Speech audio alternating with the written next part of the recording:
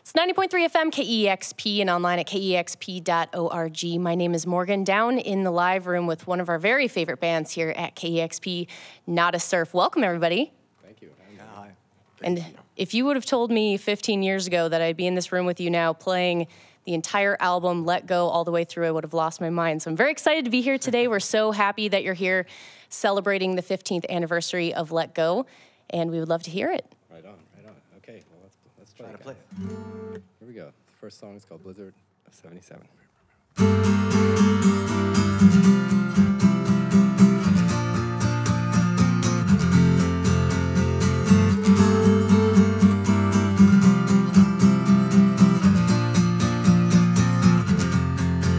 In the blizzard of 77, the cars were just lumps on the snow.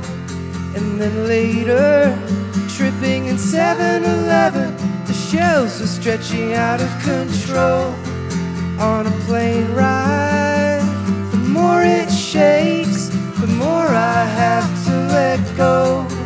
Now the signals still getting all mixed up.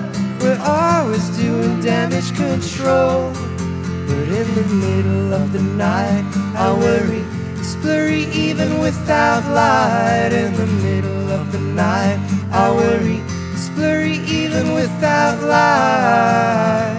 High, high.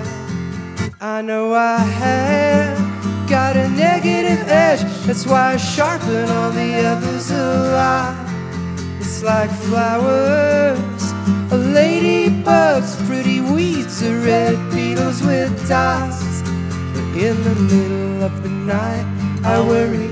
It's blurry even without light. In the middle of the night, I worry. It's blurry even without light. I, I,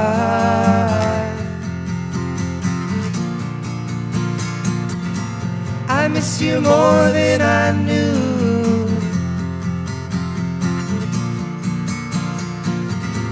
I miss you more than I knew.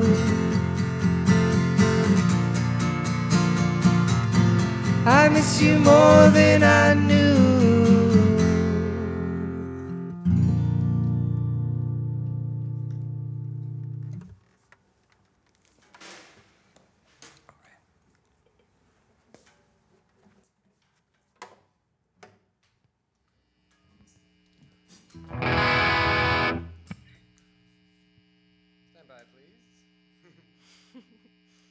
Have like cool visual effects where you can do the like the dream? yeah, like it's a, a flashback. 80s style. I like it. This song, the other one. That's the other one. Okay.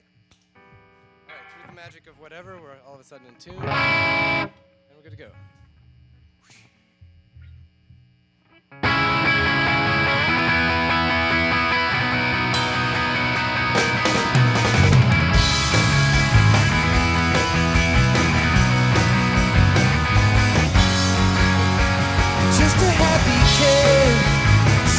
With the heart of an old punk.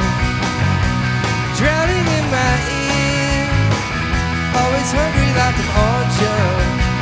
No matter who I hang out with, I can feel the clack club of the chains that pull the cars up the roller coaster, mountain top so high.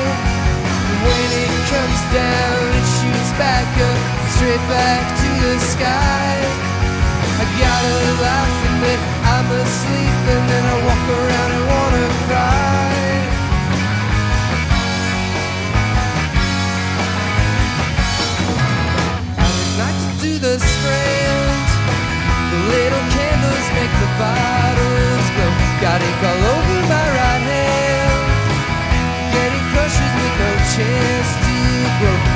I'll never ever land. There's too much sun or too much snow. I get slow days, no days. I get rusty and it's hard. But I get notions, oceans are coming to my call.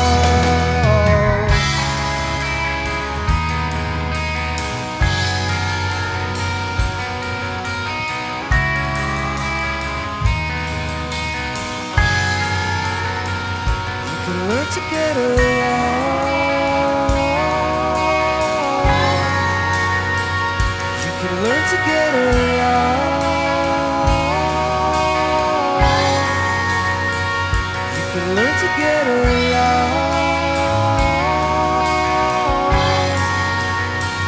You can learn to get along.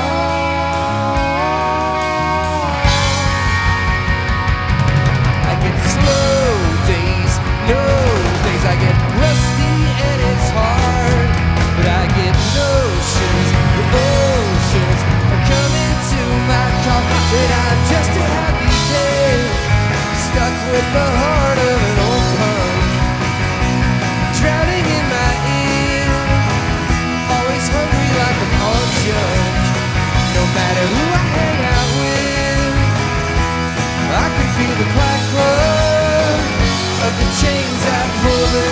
the roller coaster, mountaintop so high.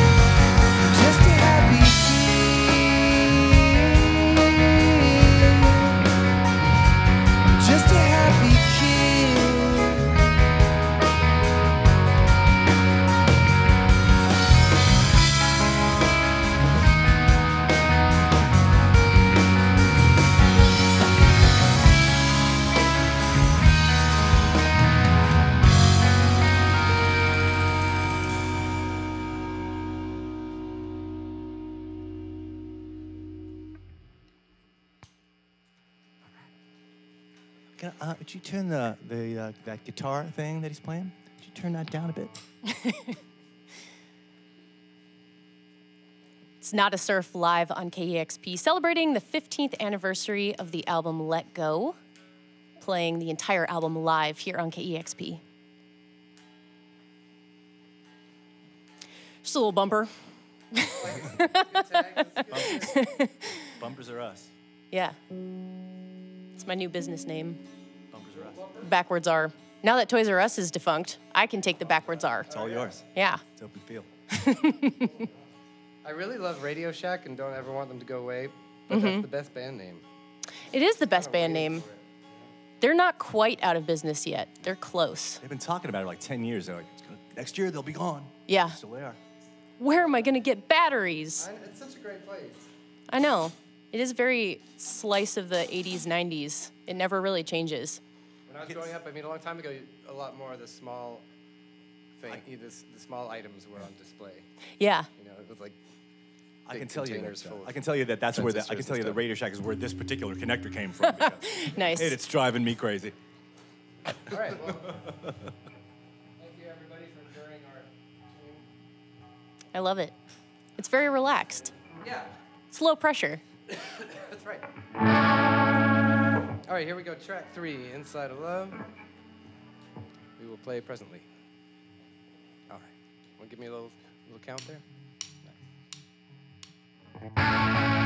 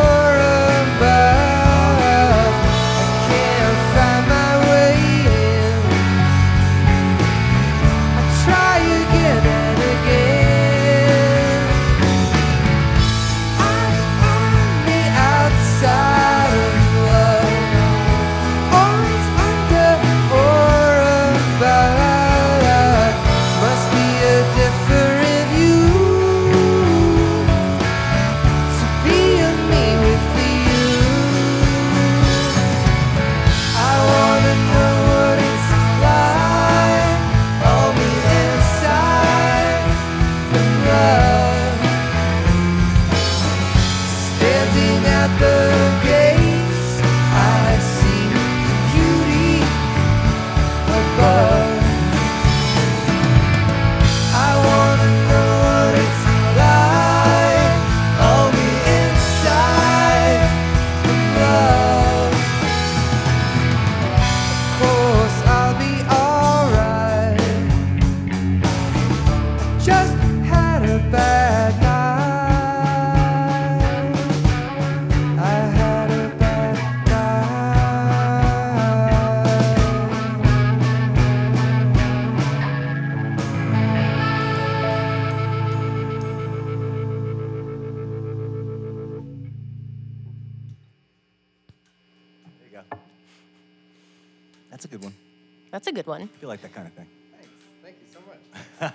You know what I remember the most about Radio Shack? I'm still thinking about Radio Shack. they had uh, they had this little yellow robot toy that if you put a coin in its hand and push it down, it would uh, it would open its mouth and eat the coin. It was a piggy bank, Piggy bank. and I had I had that, and it was Radio Shack brand piggy uh, piggy bank. That's what I remember the most about Radio Shack. Yeah. I used to go and buy replacement speakers when I couldn't find when I couldn't like afford an actual speaker. I would buy one of those, Yeah. knowing full well they wouldn't last more than a week. Yeah. it's good for disposable stuff, I suppose. it's not the best tagline. Um, okay. Radio Shack smelled good too. Just want to say that. Hmm. Really? I think that's right. Particular plastics. Yeah, yeah, it had that smell. Kind of like libraries Yeah. have that book smell. Radio Shack had that radio smell. that shack smell. Radio, the radio smell. That's another good name. Yeah. All right. Um, track four, we could uh, perform presently.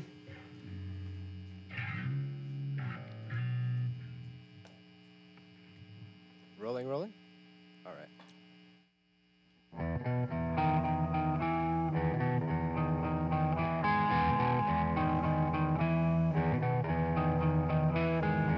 Left some food wrapped up in a plastic bag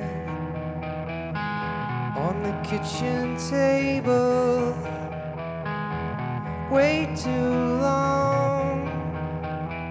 I sat down to eat next to the bag. I was too tired throw it out. I saw a swarm of fruit flies.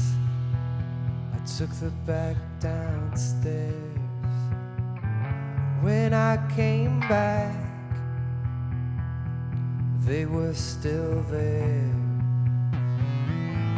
Flying jerky patterns like snowflakes in the air. I'm sorry.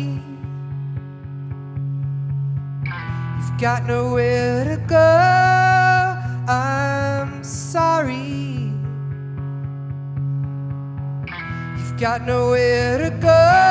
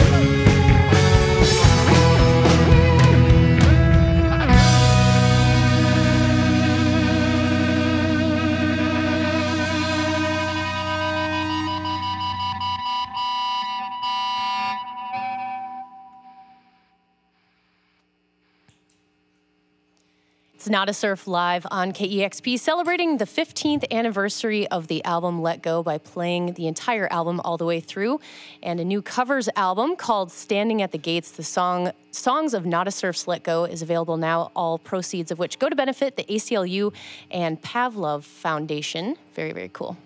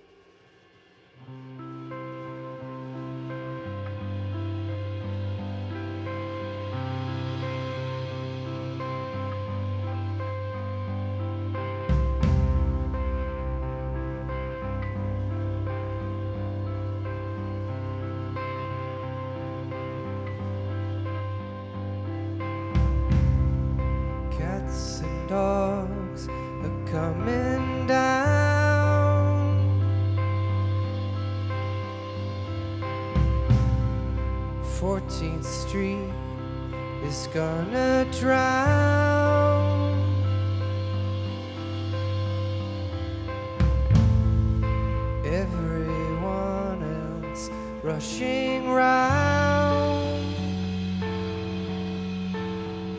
I've got blonde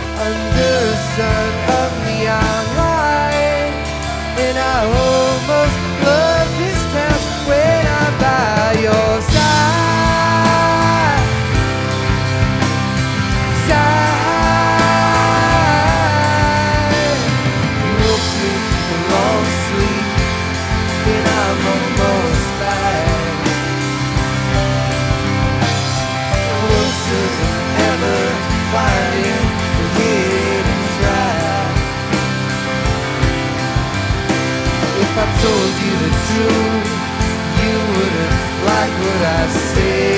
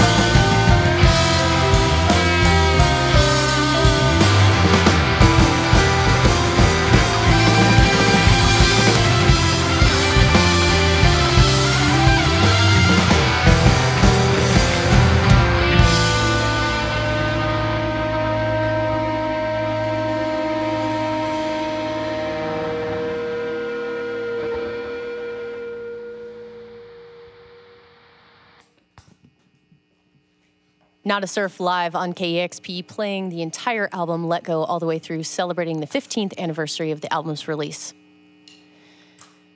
That is my favorite song on the record. Ah. I love that one so much. I had that record on repeat, but then that song, I'd get to track seven, and I'd have to repeat that song for a while before I can move on. Yours is track five? Nice. What's everybody's favorite track? Five. We got two Blonde on Blondes.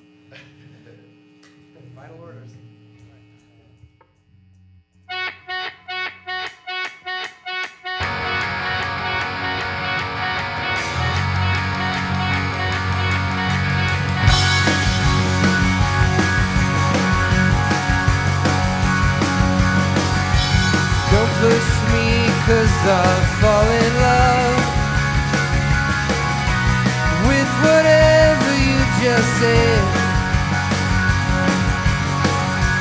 Don't push me cause I'll fall in love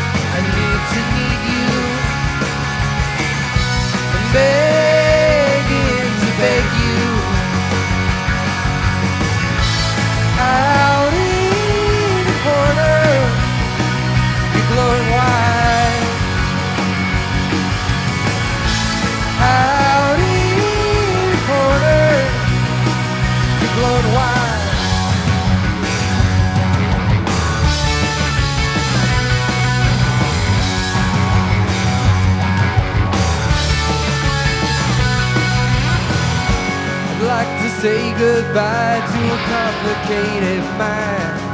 When I walk in waves, I'm stopped all day by California life and things I didn't try and ways you were unkind. Ooh, and the strangest colored eyes.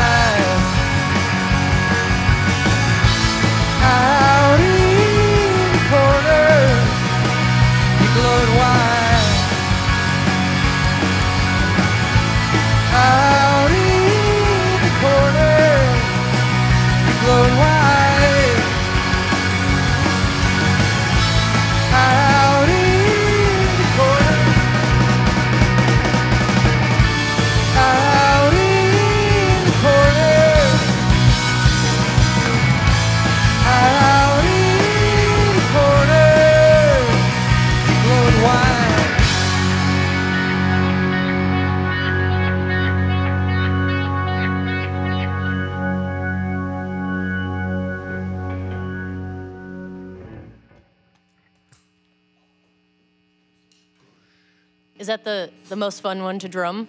Oh, yeah. Yeah. Is that, that's why it's your favorite? As uh, Dave Grohl says. that's the technical term. yeah, yeah. So it's, uh, Hamina, hamina, hamina, hamina. Hamina, hamina, hamina, hamina. Ha!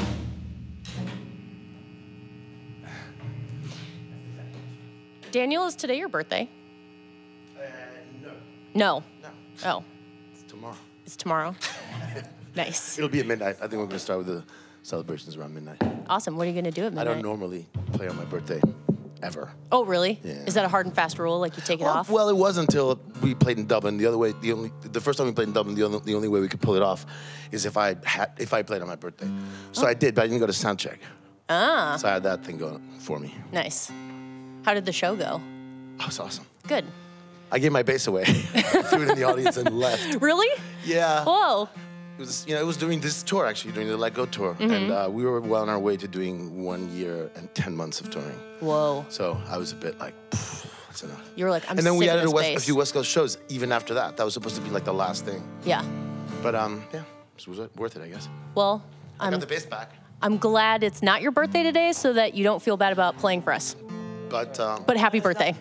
actually, oh god, I totally fucked that up. I should have said no. It was last. Not my it was birthday last- too, as well. It was uh, it, it was it was uh, twenty. It was uh, 18 days ago when we played here at the Oh, Neptune. that's right. Duh. Duh. when this airs, yeah. But uh, you'll, you'll have some champagne tonight starting at midnight, don't worry. Okay. That sounds good.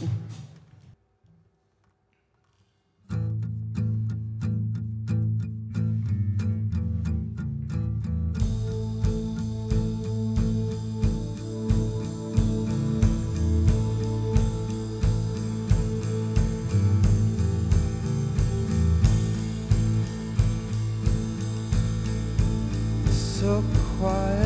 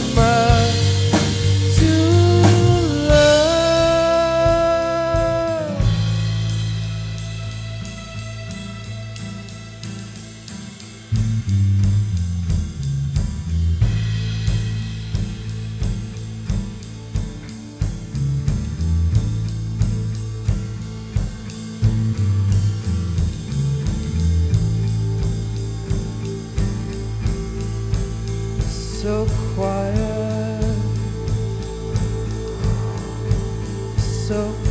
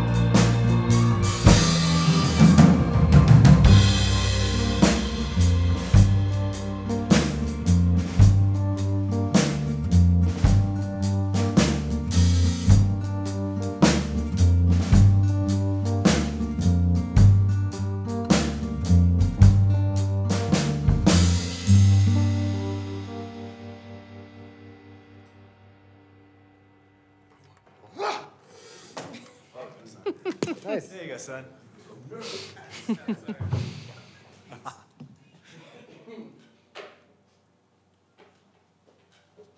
Daniel, did I read that you and Matthew went to like a French language school together? Yeah, we both we both lived in. Well, he lived in Paris as a kid Oh, okay. because his parents took sabbaticals there, uh, and then I. Uh, my dad's I'm I'm a diplo brat, so my dad's uh, second post when I was born was in uh, in Belgium. So I learned I learned to speak French, and then when, when we both were in New York at like age five or six, so we both went to this French school. Mm-hmm. And Wow, I- so you've known each other your And whole I lives. love French fries, so it all worked out. Oh man, you guys get along And so well. French toast, It's kind of held, freedom toast. And French is mustard, cra- it's crazy. It's right? Yeah. yeah. Actually, he prefers Grey Poupon. Oh, Sophisticated. Though. yeah. For the discriminating taste. Grey Poupon.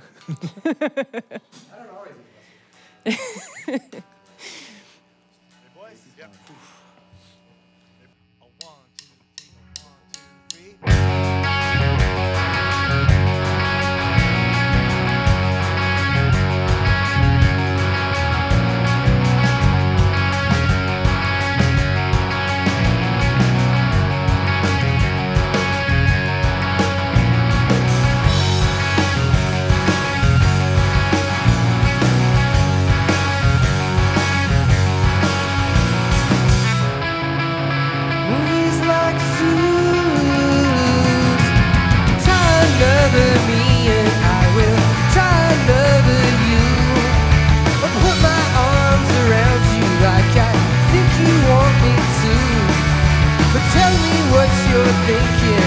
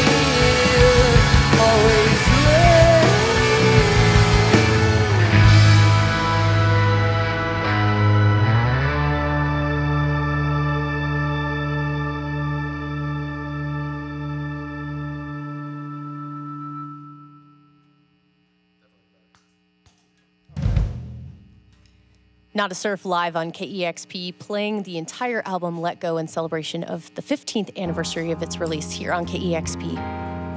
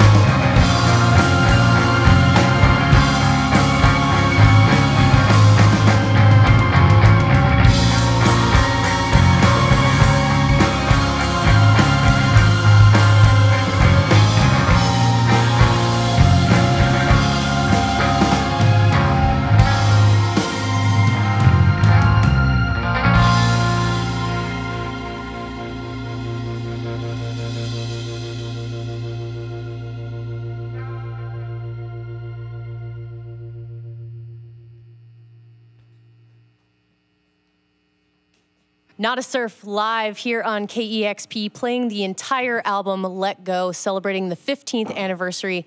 And uh, that album sounding so good all the way through here in the KEXP studios still sounds as fresh as it did when it came out back in the fall of 2002. Thank you so much for being here today. Oh man, well thank you for thanks for having us and thanks for the support over the years. Uh, I think KEXP's meant a lot to us, so so it's really it's always a pleasure to come back. Yeah, we love having you. And uh, it's so nice to be celebrating this album. So, this was your third album, but to the general public, it felt like the second album as your as your second album uh, Right, was yeah. shelved at the time, and it and it sort of was um, a new beginning Yeah. from uh, High Low, which came out in 1996. Can you kind of set the stage of where you were at that time that you were writing the album, what was going on with you guys, and, and how the album ended up coming together? Well, we, you know, we'd been in a Daniel and I had been in a couple of bands before, and and the one we were in just before this was pretty ambitious, and you know we were in New York and trying to trying to get a record contract, and and at a certain point it wasn't fun anymore, and um, we formed this band just to have a good time, and we got jobs we liked, and you know we were feeling good and balanced in life, and everything was cool.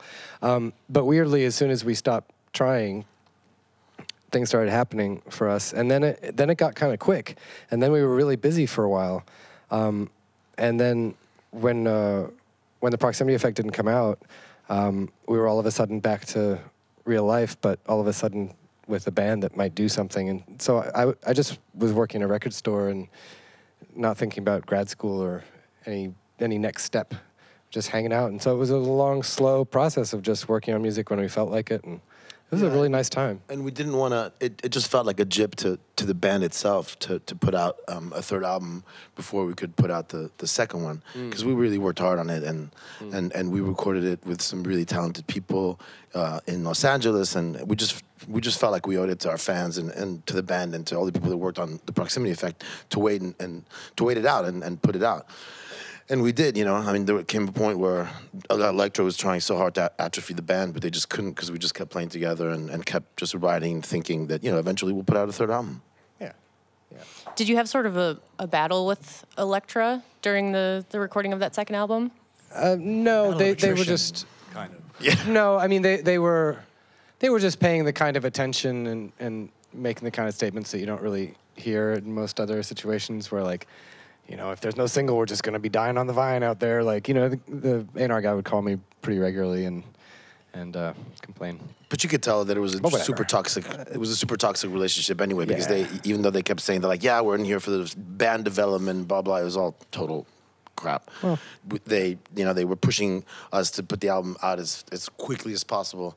To which Matthew was like, you know, no one's gonna remember whether the album came out in February or, or September. We, you know, we don't want to. We're not ready to, to record the second album, you know, which is obviously true. I mean, because we always thought about stuff in the long term, and then just lots of different things. You know, they they they just they just didn't want us for who we were, and and and it's just none of their business. I mean, even things like, for example, they wanted us to spend a lot of money recording, and the reasoning behind that being that if they don't spend a lot of money on the band, then they're not going to work the band because they don't need to make back so much of an investment. I mean, that's just what a load of you know. That's exactly the kind of label you don't want. you It's a know? little scammy, isn't it? yeah, Yeah. So it's just cheesy, So things, sleazy. Reminds me of Trump. things are better now. Yeah. And uh, when you started writing the songs for Let Go, did you think that you were going to be writing an album, or did those songs just sort of come naturally and an album ended up coming together? Oh, I don't know. You know, I think I wasn't really thinking about it, but if you'd been there to ask me the question then, I would have said, yeah, it'll be a record eventually. Um, but we were just, uh, yeah, just doing it as it as it came. Yeah. Uh, to me, I feel like the first half of the record um, feels a little nostalgic. Like you, you're thinking back on things you loved when you were a kid, and then the second Yeah. half of the record is feels more like what you're going through at the time. Uh, is there an overarching theme to the record? No, uh, not not really, except that you just said it. You know, it's probably it's Nailed it. probably that. Yeah, nailed it. um, there was no plan about side one or side two or anything. It's that's cool that it if it appears that way. That's great. Um, but yeah, I, you know, it's a lot of happy, sad stuff. You know, you, you- you look back wistfully, you look forward hopefully, and and um, try not to get too too hung up on things. But but not getting hung up on things is like a, a life uh, endeavor, you know. Yeah, there's, de- there's definitely th- so- that to it. I mean, we were we were in such a vacuum. We didn't we didn't have to answer to anybody, um, and we were gonna you know make this album pretty much on our own. Ex- I mean, with the help of our of our producers, but but just without a record label, you know, no manager to answer to, nobody except thinking about our fans that you know eventually might hear it, and just making ourselves happy. We it was kind of we were very free, you know. You had mentioned um, after playing Blonde on Blonde earlier that that was the first time you had played all the way through was the recording. Yeah. Did you do that with a lot of songs on the on the record? No, no, we we we practiced a lot. Yeah. Yeah, I think Yeah. the the opposite of that one I think would be Inside of Love, which we did in maybe like five or six different ways. And we were we were down in Venice Beach recording and and the people the these kids from from the the Los Angeles Film School um, wanted desperately to do a video for that song. And so that was the first one we had to, you know, really get together because we, you know, they had to start working on it, or they were ready. They had a script. They had, they had all the production was ready, and we were we just kept changing the song, playing it one way and then the other. But uh, yeah, So it was like a forced single because of that, because of the video. Kind of deadlines are good, right? I mean, it was Yeah. just a it was a healthy yeah. uh, bit we of certainly didn't have the money to do any other video. I mean, they paid for everything, including the rapping party. And I cooked, but I mean, that was nice of you. so you ended up going with Barsuk Mm-hmm. um, for the U.S. release back in 2002 for Let Go, and Yeah. they were a fairly new label at the time, of course, based here in Seattle. Um, and they're celebrating their 20th anniversary Yeah. this year. You're celebrating 15 for Let Go. So you sort of came up together. How did you end up working with Barsuk?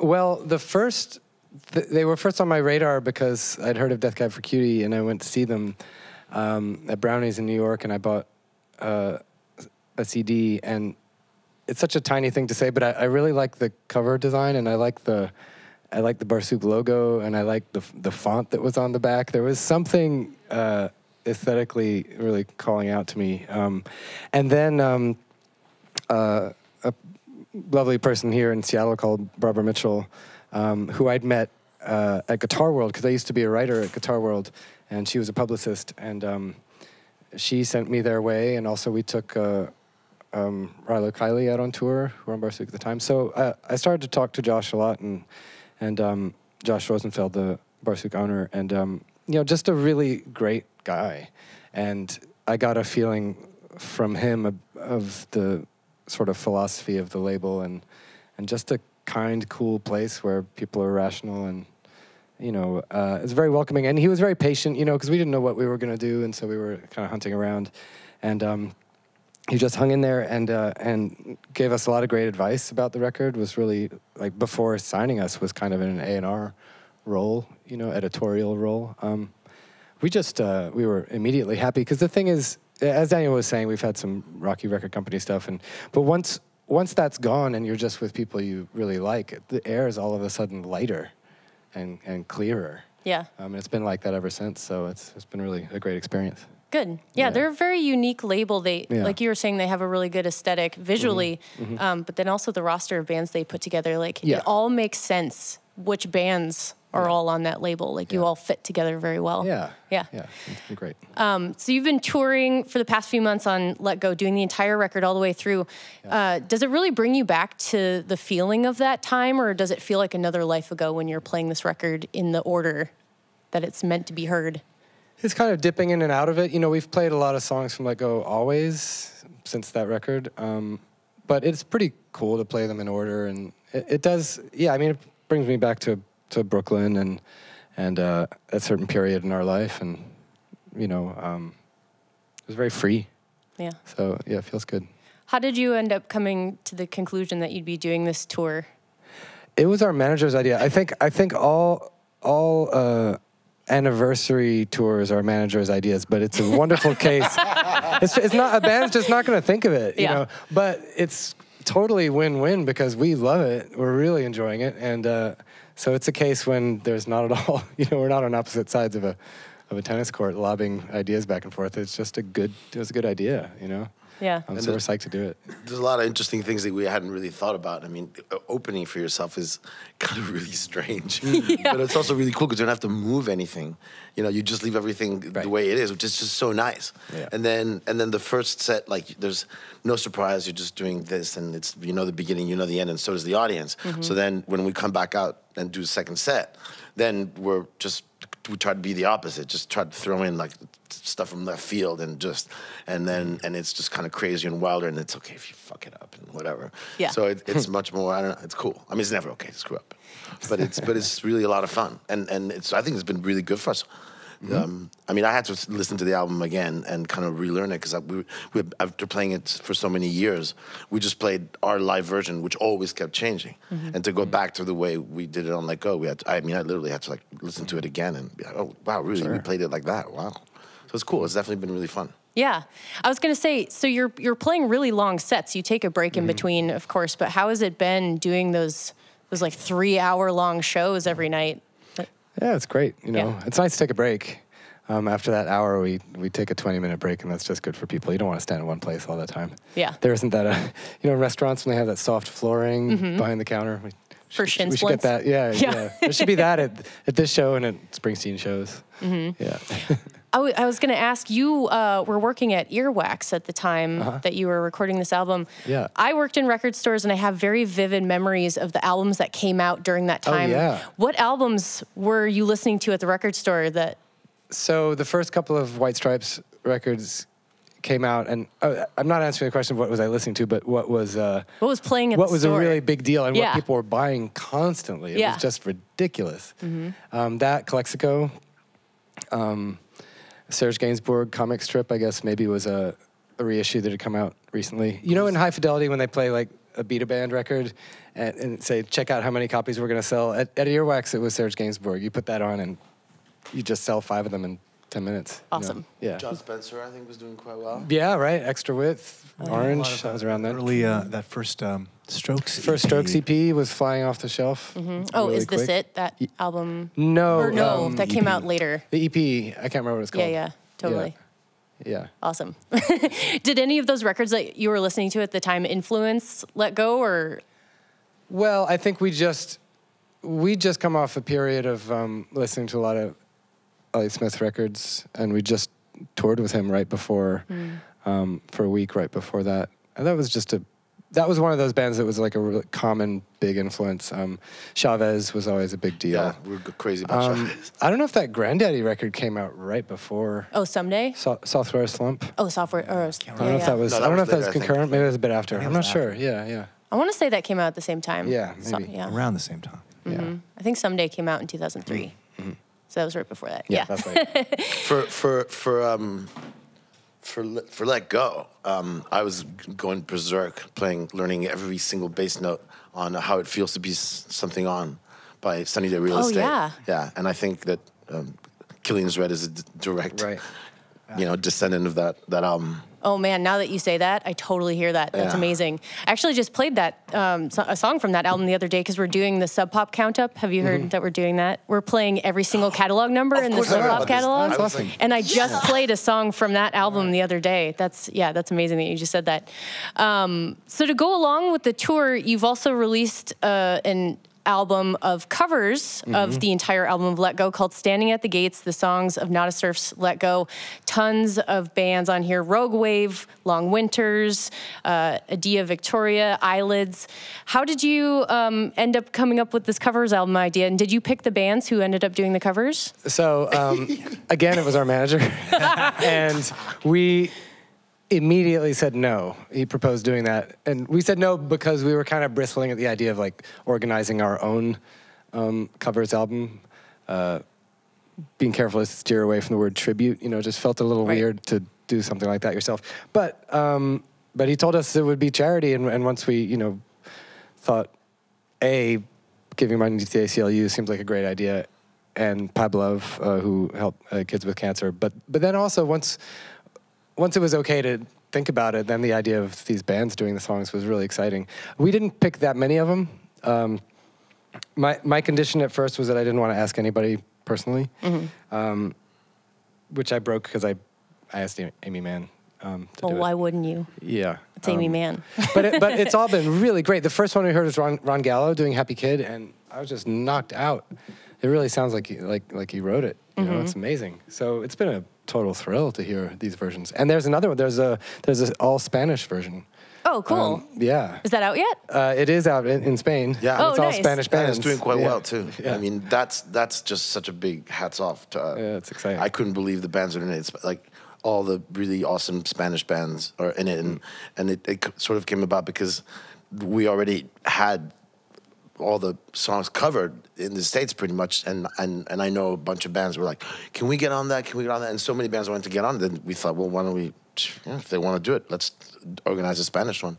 And so our booking agent in in Spain Carlos um, organized that and he it, you know, it's a lot of work to put together a whole album and get all the bands the logistics and blah blah. But it's really amazing. A lot of the most amazing compliment is the fact that they they most bands um, translated the lyrics to Spanish, which is so difficult to do. Um, translating, we've had to translate several songs to French, and it's it ain't easy. Matthew's mom had to help us. oh yeah. Right. Did you did you write Là Pour Ça by yourself? Yeah, I just we we we did this crazy tour in in France um, where we did a whole month in France, and instead of doing it the regular way in a tour bus or whatever, we did so many so many dates. We toured more like a French band would tour, which really helped us, you know, sort of make a make a, a big statement in France. Um, and and I was so played a lot immersed in. France, in, in French, that, that I was just start, really starting to think in French and blah, blah, blah. And I just kept, in my songbook, I kept writing these amazing French expressions. They just have the best expressions. And, and sometimes I don't even know what they mean, so I'd have to write them down. And I just had this whole collection of crazy expressions. It's like almost like the song just wrote itself. Mm-hmm. Matthew had this great little line, and it was actually kind of on the easy side. What's your favorite French expression that doesn't translate well to English? Oh dear, there's got to be so many. Oh. I have one. okay. Tomber dans, tomber dans les pommes, to fall in the apples. to fall in the apples, yeah. It means, it means to pass out. Oh, okay. Because you drank too much cider and I Right. don't know. Maybe. I had no idea where it came from. I bought Ira a book for your was it your birthday or Christmas? It was a, a slim volume that was all Oh, eu- yeah. euphemisms for being drunk. Yeah, it was like it was like six thousand variations on It's just like amazing. words that And mean. There's so many to be opposites, like being tight is being drunk, being loose is being drunk. yeah, In your cups. that's weird. Yeah. What's your favorite French phrase? You had one. Oh, um, well, l'esprit de l'escalier is the spirit of the stairs, and that's the thing that you think of to say after you've left the, let's say, apartment on the third floor where you were having a conflict with someone, and as you're walking down the stairs, you're like, ah, man, that's what I should have said, and that's the spirit of the stairs. Oh, yeah. Oh wow. And a, a pet name they use is Mon Petit Pouce, right? Is that flea, my little flea? Oh, yeah, ma petite puce. I just Yeah, think yeah, that's yeah. funny to call totally. people a flea. So, um, 15 years later, how do you think the music industry is different now than it was when you released Let Go? And has your um, the way that you write albums or release albums has that changed? Um, that hasn't changed, um, but the way things have changed, I'm, I'm not sure. I mean, so many people are probably writing really incisive articles about what's happening, but uh, um, it's probably easier to be in a band. It's easier to find an audience and get to know them personally and add them add fans one by one. But um, but there are a lot more of them, so I don't know. I think it's always it's always a good I always think, eh, not just in terms of playing in a band, but but as a listener, it's always a golden age, constantly, for somebody, and in some way. And if and if you don't consider it a golden age now, maybe in a few years you'll look back and realize that it was. You know, I think it's always opportunities are always there, and and you can always play for somebody, and that's that's a great part of it. And uh, and also just going to band practice is you know, once you get a song right the first time and play it, that's that's just about the biggest rush of all, and that never goes away. Cool. Yeah, Anyone else? I didn't answer the question, but No, I love that answer. that I yeah, don't have one. that made me really think about yeah, it's golden age for someone.